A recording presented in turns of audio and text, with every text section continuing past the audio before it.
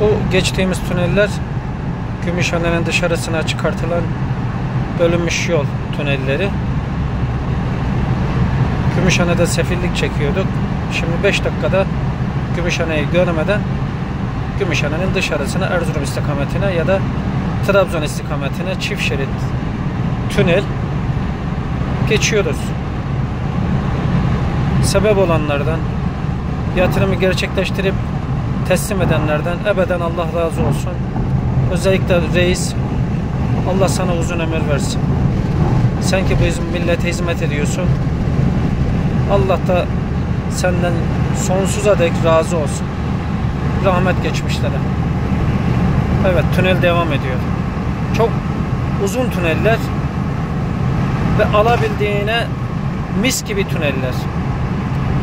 Son teknoloji, teknolojiyle donatılmış insanların hizmetine Doğu'nun Gümüşhanesi'nde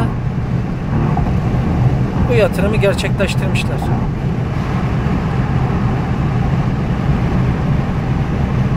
Evet. Yeni bir tünele girdik. İnsanlar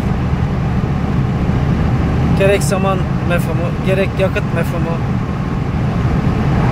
gerekse trafiğin Gümüşhane içerisinde rahatlaması güzel bir şey.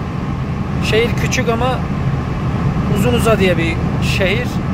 Ancak bu kadar bu tünellerinden dışarı alabilmişler. Tamamı dışarı çıkmış.